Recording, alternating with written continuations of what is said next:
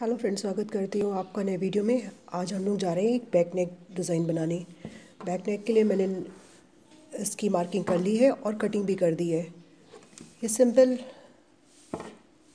Circle shape का है back neck design और इसमें पिनअप कर लिया है। एक हल्की सी कच्ची सिलाई लगा ली है जो कि फाइनल सिलाई लगाने जा रहे हैं। उसके बाद इसकी मेन फैब्रिक की कटिंग करेंगे। तो चलिए देखते हैं सिलाई के लिए।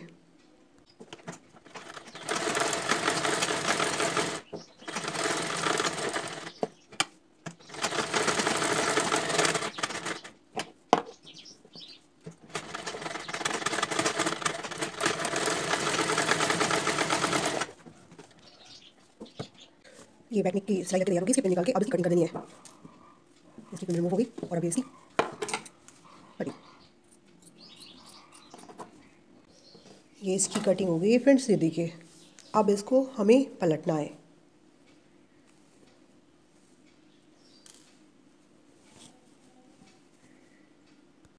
ये देखिए ब्लाउज हमने पलट लिया है और पूरे ब्लाउज पे पिन लगा दिया है पिन अप कर दिया है। सबसे पहले इस ब्लाउज में सारी ब्लाउज में कच्ची सिलाई चला लेनी है मशीन से। इस कपड़े को सेट कर लेना अस्तर के कपड़े को और मेन फैब्रिक को। इन सबको एक सिलाई चला के सेट कर देना। है उसके बाद इस गले की डिज़ाइनिंग स्टार्ट करते हैं। तो पहले, सबसे पहले इसमें मशीन चला लेते हैं। दोस्तों ये ब्लाउज़ बन के तैयार हो गया है। इसका बैक नेक पूरी फिनिशिंग हो चुकी है। अब इसकी मेन फैब्रिक की कटिंग करनी है, जो इसका डिज़ाइनिंग करना है। इसके लिए दो पेपर की कटिंग करी है मैंने। सबसे पहले एक में नेक बनाया है और एक विदाउट नेक का है। ये देखिए अब करना क्या है? इस फैब्रिक पे इस नेक नेक का डिज़ाइन डाल देना है।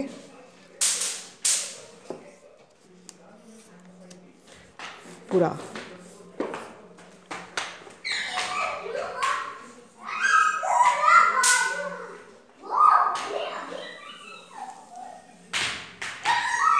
फिर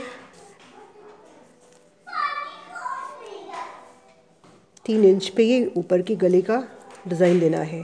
तीन इंच या ढाई इंच पे ये ऊपर की गले का डिज़ाइन दे देना है। शेप दे देना है। और फिर यहाँ से एक पत्ती का शेप बनाना है।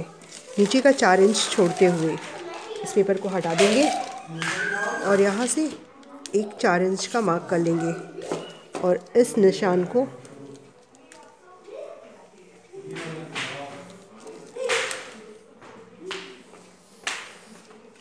यहाँ ऐसे मिला देना है और फिर इसकी कटिंग कर देनी है।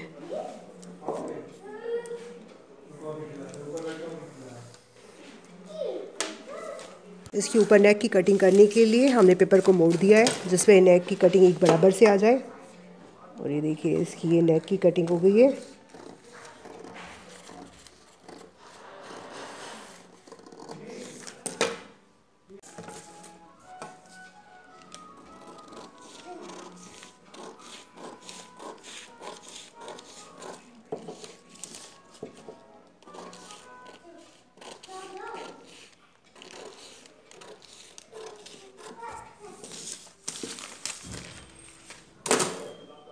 की कटिंग हो गई है और इसको अब मेन फैब्रिक पर रख के देख लेना है कि इसका डिज़ाइन कैसा आएगा।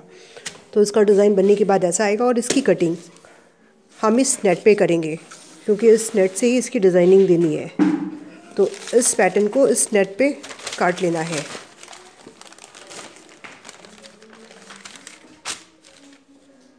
दोस्तों, ये पैटर्न कट के तैयार हो गया ये पेपर मैं हटा रही हूँ और ये ये इसका फुली पैटर्न तैयार हो गया अब इसका लुक ये आएगा, बनने के बाद, इस नेट को, इस ब्लाउज पे ऐसे लगाना है।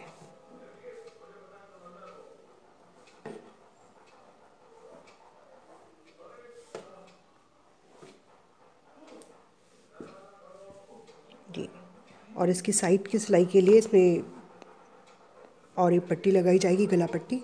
और चाहे तो आप यहाँ पे भी गला पट्टी लगा सकते हैं और लेस, इसको हम लेस से डेकोरेट करेंगे। और नेक पे भी वही लेस ही लगाएँगे, उसके बाद एक पट्टी लगाएँगे। तो चलिए देखते हैं इसकी स्टिचिंग कैसे होती है इस डिज़ाइनिंग और इस फैब्रिक की। इस पर हम ये लेस लगाएँगे और लेस गले से स्टार्ट करेंगे। ऐसे ही। ऊपर की साइड से ही लेस लगाएँगे, बाद में इनको, इसको पलटा जाएगा यहाँ। फिर यहाँ पे स्टॉप करने के बाद ये साइड की लेस फिर लगेगी यहाँ से।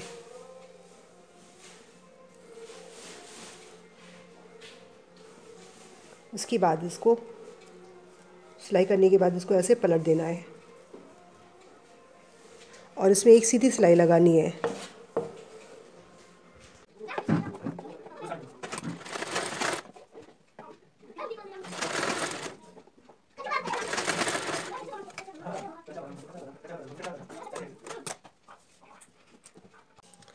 फ्रेंड्स, ये लग के तैयार हो गई है पूरी। अब इसको पलटना है। इसको पलटने के लिए ये, ऐसे इसको पलटेंगे दोनों साइड से और एक मशीन चला देंगे। आप चाहें तो इसमें और एक पट्टी लगा दें और अगर जो नहीं लगानी है तो नहीं मत लगाइए क्योंकि मैं इस पर नहीं लगा रही हूँ। इस पर और एक पट्टी की हमें ज़रूरत नहीं महसूस हो रही है। और ये वैसे ही बिना और पट्टी के भी बहुत अच्छा आ रहा है क्योंकि इसका बैक साइड से ये लुक आ रहा है, लेस का। जिस वजह से हम इस पर और एक पट्टी नहीं लगा रहे हैं। और ये कंप्लीट हो गया। अब इसको ब्लाउज़ पे एक मशीन सीधी एक ऐसी मशीन चला के ब्लाउज़ पे लगा देना है। बस एक नॉर्मल सिलाई कर देनी है इस पर पूरे इस पर तो चलिए आगे का देखते हैं क्या होता है। ये ब्लाउज़ का लुक ऐसे आएगा, देखिए, ये कंप्लीट तैयार हो गया। जो नीचे का ये फैब्रिक है, इसको ऐसे मोड़ देंगे और इसको यहाँ पे ऐसे टक कर देना है होगा। इस पर इस गले में पूरी एक मशीन ऐसे चला देनी होगी। और यहाँ पे बटन, मैं, हम इस पर बटन लगाएँगे। आप अपनी इच्छा अनुसार आपको जो भी लगाना हो, आप लगा सकते हैं, फूल लगा सकते हैं, लेकिन हम यहाँ पे बटन लगाएँगे।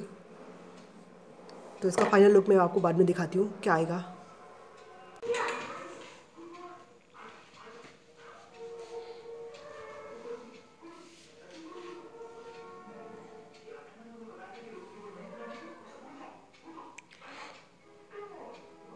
दोस्तों, ये ब्लाउज़ बन के तैयार हो गया है।